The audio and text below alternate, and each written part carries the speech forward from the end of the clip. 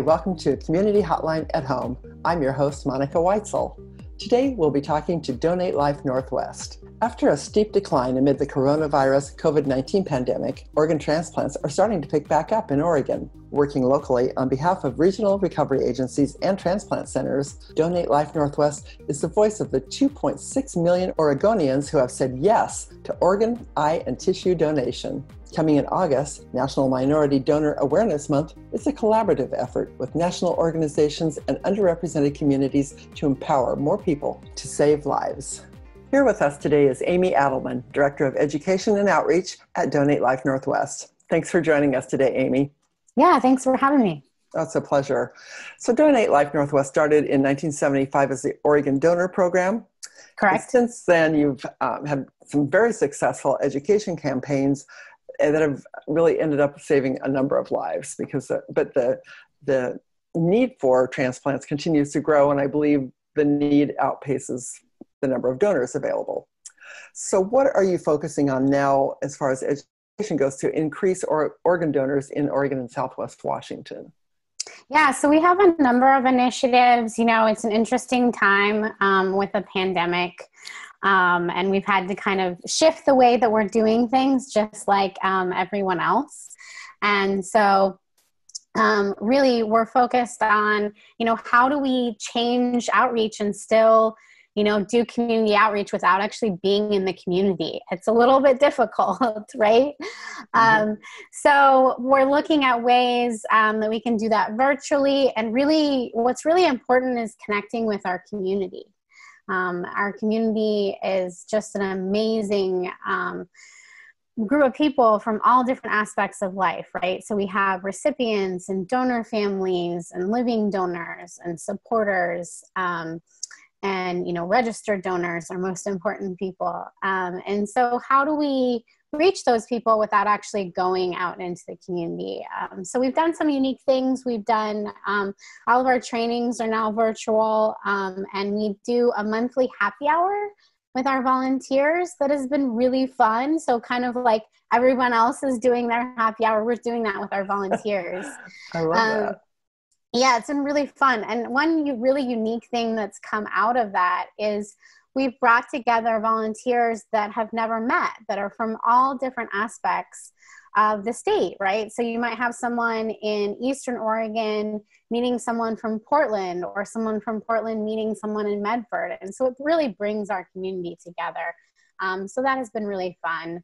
Um, we're also, you know, looking at ways that we can provide that education. So with our youth education, um, not being able to go into schools, we've created virtual resources online. Um, and so there, there's lots of different things that we're doing. Um, but it's also been difficult um, because with COVID, um, we did see a real decrease in donation, um, especially in March and, and some of April, because um, there just really wasn't the resources and the ability to do the testing that we needed to do and make sure that that transplants were safe. Um, right. And so donation and transplant uh, definitely declined for a period of time, and that was really hard.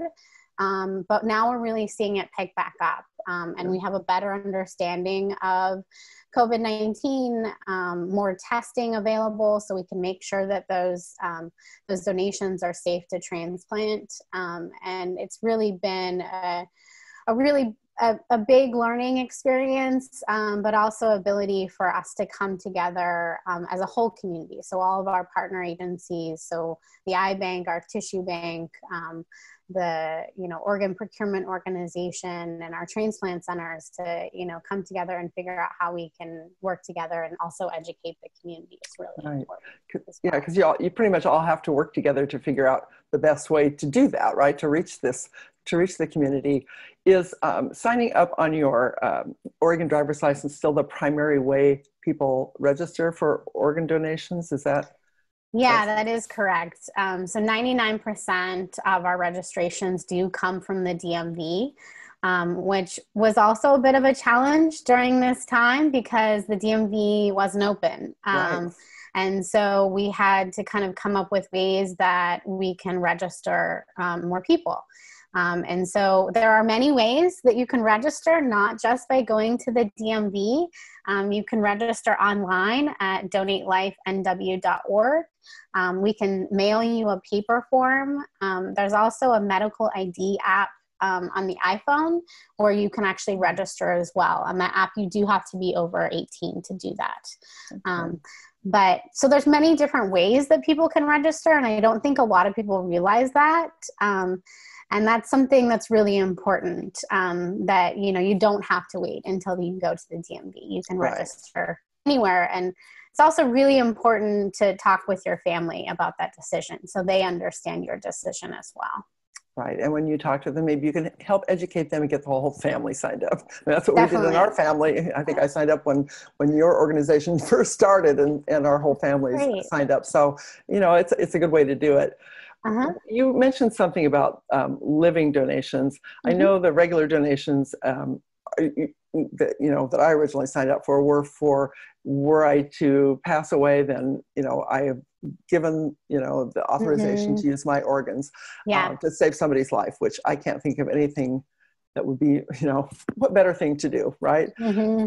But the living donations are a little bit different. Is that right? Can you explain to me how that works? Yeah. So. Um, when you sign up uh, with the DMV or on your driver's license or online, um, you are signing up for deceased donation, right? So um, if you die in a manner that donation would be possible um, and you are registered, um, we can move forward with that donation process living donation um, obviously it can happen when you're still alive. Um, and there are a few things that can be donated not nearly as many um, as with deceased donation but um, most commonly people know about kidney right? So mm-hmm. you have two kidneys you only need one to live. Um, and so you can donate a kidney you can donate a portion of your liver. Um, your liver is a very interesting organ it actually grows back. Oh so it takes it takes a little bit of time about 12 months or so to um, have that uh, that liver grow back to its original size. Um, and then you can also uh, donate a very small portion of your lung. It's very rare and not done nearly as often anymore. Um, you can also donate a very small portion of your intestine um, and then obviously blood and bone marrow is also something that you can donate. All the costs of donation actually comes from the recipient side. So most of the time the recipient's insurance will cover the costs oh, wow. um, okay. of the donor. So there is never any cost um, for the living donor as far as the donation process is concerned. That's all covered on the recipient's insurance. So, if I were interested in doing a living donation, I would um, go through all that process. I'm thinking if we went through all those tests, if there was anything wrong with me, they'd probably find it, wouldn't they? Would they tell me? Yeah. if they found something seriously wrong with me, you know mm-hmm. maybe i'm maybe i'm doing a favor to myself by by going through something like that you actually are so you get kind of a a free physical exam yeah. a very very thorough yeah. physical exam so you know if they're if they were to find um, type 2 diabetes or high blood pressure um, those are things that would rule you out um, right, to be a right. living donor and then you would find that out right? Um, so that can actually be a benefit. You know, it's a very extensive process, and people learn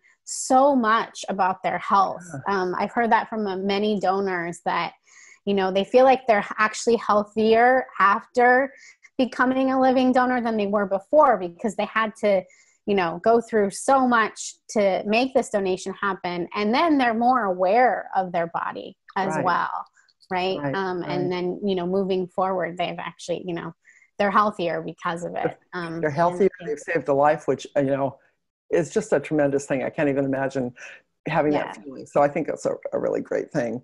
It's um, pretty incredible. Mm-hmm. You know, I've read that the uh, that the number of minority donors is is not nearly enough to cover the mm-hmm. need. So uh, specifically African Americans, um, Latino, and, and and others are um, that mm-hmm. they're, they, they don't sign up as, in as many numbers and there's probably a lot of reasons for that is there um, an effort made to try to increase those numbers of, of donors Yeah, so we actually have a National Minority Donor Awareness Month coming up, um, and that happens in, throughout the month of August. Um, it's a national campaign um, with Donate Life America, MOTTEP, um, and um, uh, other various organizations across the nation, really trying to create a concerted effort to educate um, our community and our, our nation about uh, about this exact topic. Um, so minorities uh, make up about sixty percent of the national waiting list. Mm-hmm. Um, and you know those are individuals who are waiting for a transplant um, and so more proportionally affects um, uh, blacks latinos uh, asian and pacific islander native americans all of those communities are more so affected by transplant and the need um, for a transplant. And so it's really important that um, we educate the community about this and encourage more individuals um, to register Okay, I think it's a that's a good cause right there. Yeah, but definitely. I know that you've overcome a lot of barriers as far as um, fear in people and misunderstandings about the uh, about how this all works. Are there certain barriers that you still find exist that um, have been really difficult to overcome? And is there something, anything the public can do to help with this? Yeah, I mean, I think there are a lot of myths and misunderstandings. Um, honestly a lot of it comes from hollywood right? We see those movies or tv shows that that try to portray donation um, in kind of a scary um, or more extravagant than it really is. Um, and so, one of the things that I think we hear most common is by having um, that on your license, that people won't try to save your life, right? The doctor will look at that on your license and see that you're registered, and they'll just be like, well, forget it. I'm not going to try to save their life.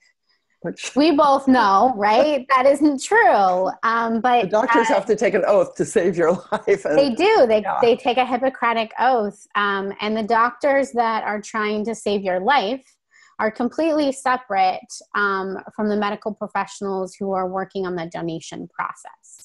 And the reason we keep them separate is just for that reason, because the doctor that is trying to save your life, that is their job, right? Mm-hmm their job is to save your life. They aren't going to take your organs and they're actually they're not even going to look at your driver's license. Okay. Um, and so you know their sole focus is to save to save your life. And then the other team the health professionals or the organ procurement organizations they're really working um, to try to save somebody else's life. So once they know and once they've looked um, to see if you're registered they actually access our registry.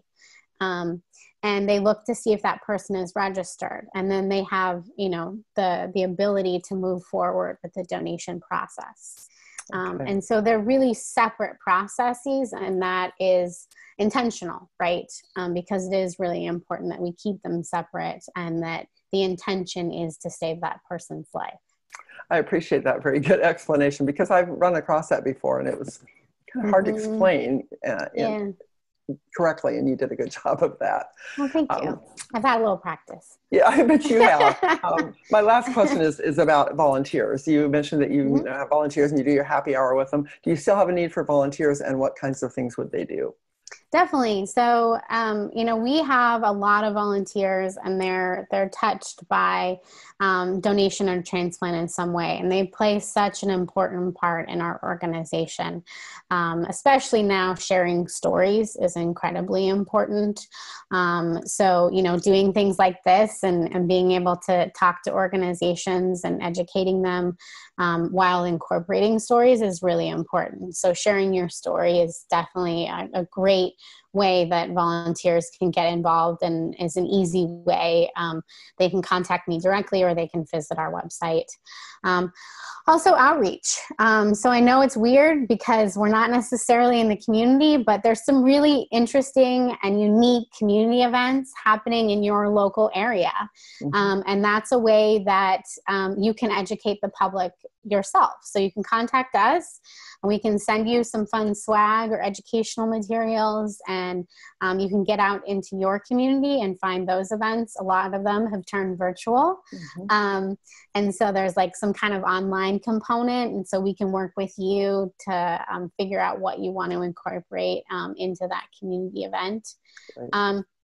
And then just kind of like general office stuff that we need we need help with um, to maintain and run run our organization is a great way.